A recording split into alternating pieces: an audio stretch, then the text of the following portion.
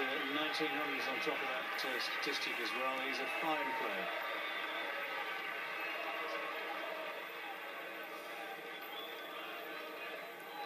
Just one of those little bars at the back of there, Bumble.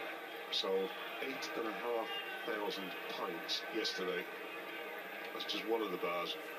That line of empty plastic cups is like origami or something of collecting stamps. What do you do? It's enormously long, isn't it?